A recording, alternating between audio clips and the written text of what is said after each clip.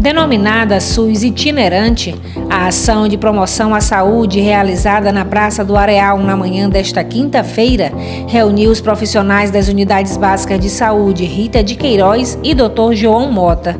Os moradores dos bairros beneficiados tiveram acesso a diversos atendimentos. É uma das primeiras ações que nós estamos fazendo, que é ação itinerante, né? Porque o SUS ele é isso, ele é porta aberta é, para o paciente.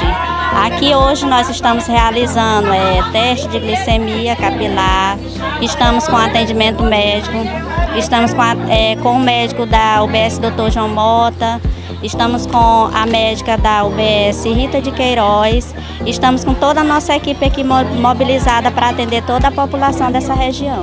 Uma parceria né, entre a Secretaria de Saúde com a nossas unidade básica e a gente está em parceria o Areal e o Novo Areal. Então a gente trabalhou essa ação itinerante juntamente com os enfermeiros técnicos de enfermagem, com parceria com o CTA e eu vejo uma forma que a população só tem a ganhar. Né? Com esses atendimentos, a Secretaria Municipal de Saúde visa aproximar cada vez mais da comunidade os serviços médicos ofertados gratuitamente pelo Sistema Único de Saúde. É uma maravilha, né?